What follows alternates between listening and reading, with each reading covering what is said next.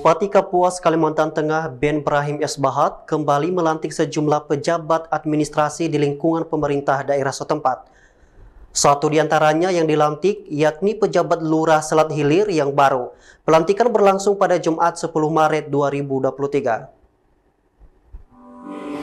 Prosesi pengambilan sumpah janji jabatan dan pelantikan pejabat administrasi di lingkungan pemerintah daerah Kapuas ini berlangsung di aula kantor dinas pendidikan setempat.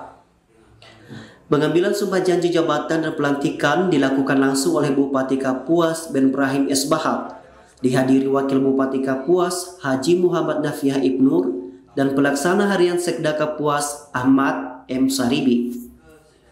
Bupati Ben Brahim S. Bahat dalam sambutannya menyampaikan ucapan selamat kepada para pejabat administrasi yang baru dilantik. Menurut Ben Brahim, dengan banyaknya jabatan berputar-putar, maka akan bertambah pula pengalaman. Untuk itu kepada pejabat yang baru dilantik diminta agar dapat melaksanakan tugas dengan baik dan penuh tanggung jawab seperti lapal sumpah janji yang telah diucapkan.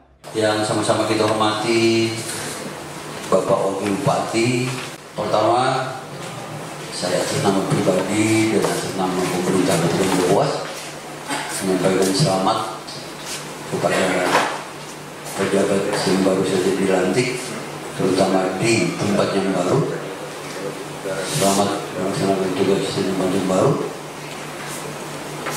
Dengan banyaknya jabatan berputar-putar berarti bertambah pengalaman.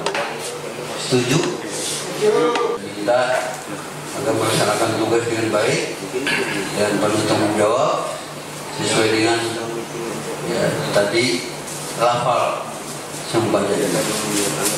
Sementara itu, Kepala Kepegawaian dan Pengembangan Sumber Daya Manusia atau BKPSDM Kapuas, Komari menjelaskan, jumlah pejabat administrasi yang dilantik sebanyak 15 orang, yang terdiri dari eselon 3A 4 orang, eselon 3B 3 orang, eselon 4A 5 orang, dan eselon 4B 3 orang.